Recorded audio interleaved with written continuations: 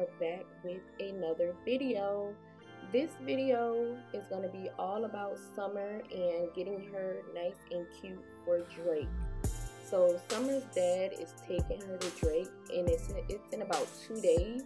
It's going to be in DC um, and I wanted to go with curls for this look. Um, here I am washing her hair of course. I feel like Summer is gonna always get her hair washed this way. Even though we're just about the same size now, I think, of course, I wash her hair the best.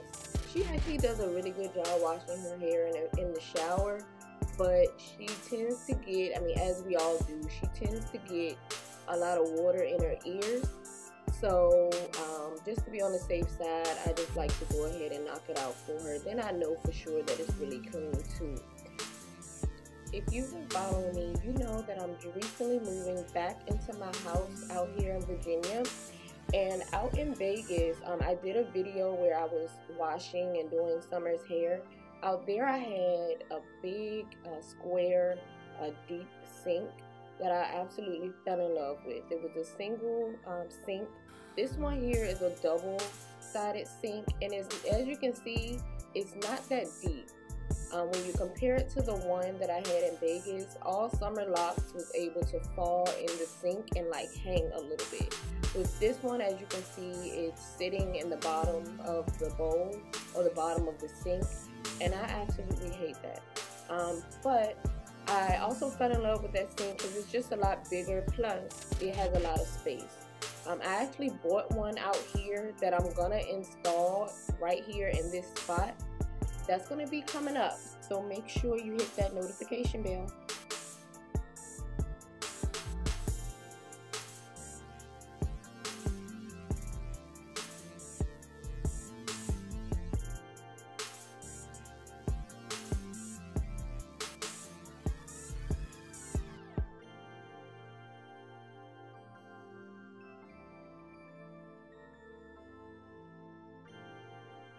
So to achieve her curls, I wanted to do like um, super spirally curls. So to achieve that, I'm using flexi rods. I have two different sizes. I have red and yellow. Um, the yellow is smaller than the red, so I went ahead and went with those.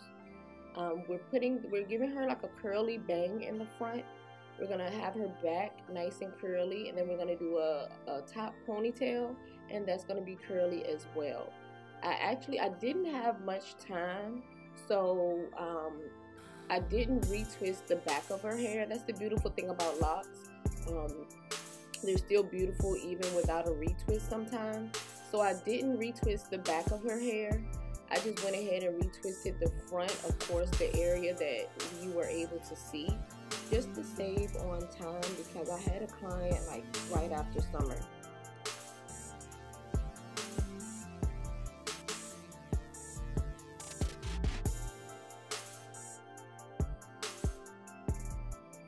After two days, I went ahead and took her rods out. Some of these sit under the dryer for a little bit, but we wanted to make sure that her curls last and was like super curly. So we kept them in for two days, um, and this is me taking them out like right before her dad came to pick her up. So yeah, look at them. I'm greasing her scalp in between as well. I rodded her hair in threes, so it was three locks per rod. And it is just so fabulous. Look at that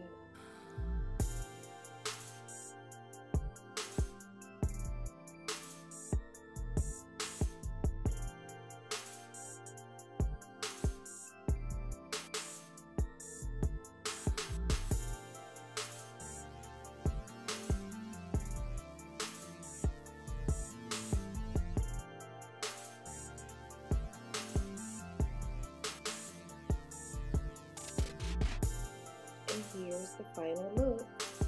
It came out so cute. I used Donna's recipe, uh, sweet potato pie scalp oil for her scalp. I love that oil. It smells so good. The shampoo I used was um, the Argan Oil of Morocco from Organix. And I also used Matrix's um, their blue shampoo for brunettes. I personally use that for my hair, but I really like that shampoo, so I wanted to use it on hers. I also use the conditioner from that line as well. All specific products and supplies will be down below in the description.